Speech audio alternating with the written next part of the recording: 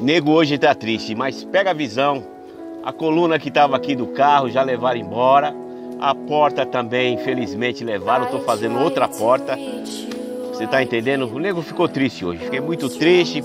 Mas vamos dar continuidade no projeto. O show não pode parar. Estamos fazendo aqui, ó, a coluninha. Vamos fazer o fechamento da coluninha, certo? Vamos fazer outro fechamento aqui embaixo. Vamos fazer o fechamento dessa outra coluna da caixa. Mas o nego ainda continua triste. Mas o show não pode parar e vamos sentar o couro. Na raridade, é Fuquinha quatro portas. É o sonho de consumo dele, então vai ser feito.